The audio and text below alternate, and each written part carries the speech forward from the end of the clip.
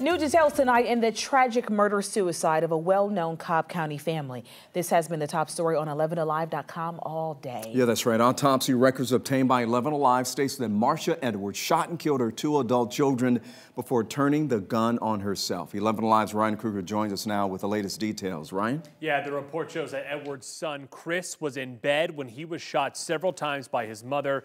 Meanwhile, the daughter, Erin, died in the same room as her mother.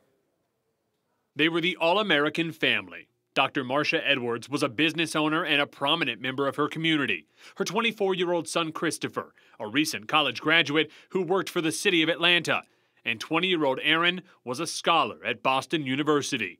All three lives ended in late August. The newly released autopsy report shows Christopher was shot five or six times in the head, the back, and stomach while he was lying in bed. Erin was shot three times in the chest and arm.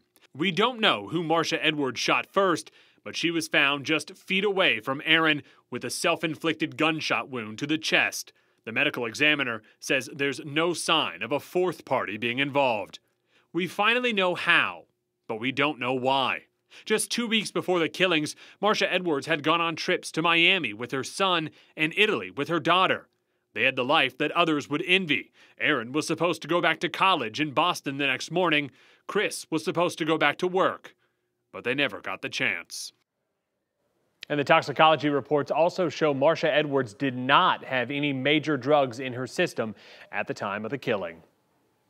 All right.